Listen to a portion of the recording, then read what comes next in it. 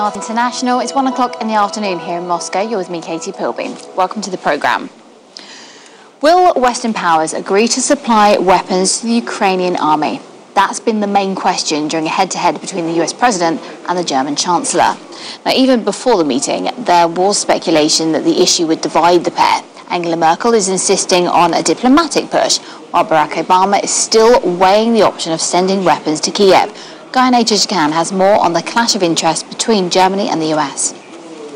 No matter how hard the German and the US leader tried to present unity of position over Ukraine in their joint news conference, differences came out. I've always said I don't see a military solution to this crisis. We should work towards a diplomatic approach. If, in fact, diplomacy fails, what I've asked my team to do is to look at all options. Uh, and the possibility of lethal defensive weapons is one of those options that's being examined. For the U.S., arming the Ukrainian government against the rebels is an option. For Germany, it's not. I discussed this with Gregory Copley, editor of Defense and Foreign Affairs magazine. There's been a, a strategic divergence between continental Europe and, and the and North Americans for some years now, uh, and this is going worse. Certainly, Washington doesn't seem to understand Europe's existential needs for uh, relations with Russia in terms of energy and with and, and with Central Europe uh, and Central Asia with regard to energy. So this divergence has been emerging for a long time. Uh, Chancellor Merkel and, and uh, President Hollande of France uh, are desperately trying to push the United States away from this highly rhetorical and confrontational position because they re recognize that it's fruitless.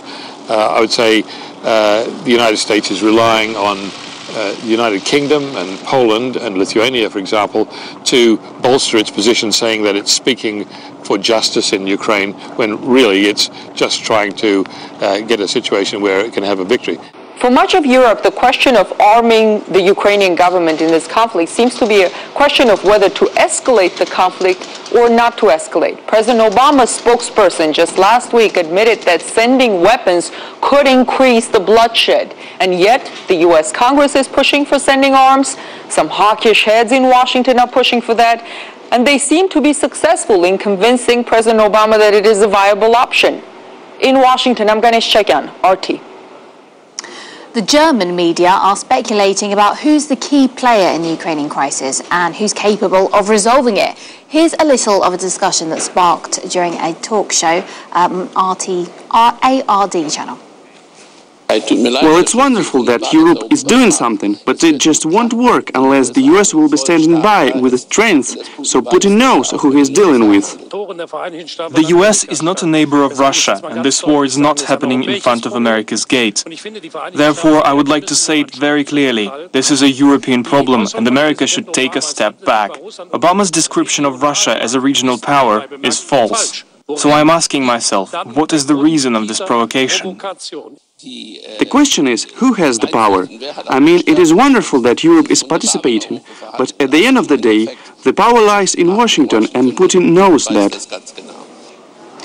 Western mainstream media were quick to coin the phrase pro-Russian separatists in Ukraine. And now, courtesy of CNN, we have pro-US troops fighting there if the United States arms the Ukrainians, that Russia will ratchet things up and it'll become a full-out war and then Russia won't stop. This comment suggests that the Ukrainian army is actually pro-US. The apparent slip-up was quickly ridiculed on social media, though. Twitter users were taken aback, saying they barely believed their eyes. Some called the CNN comment a Freudian slip. Others joked that it was the fail of the day.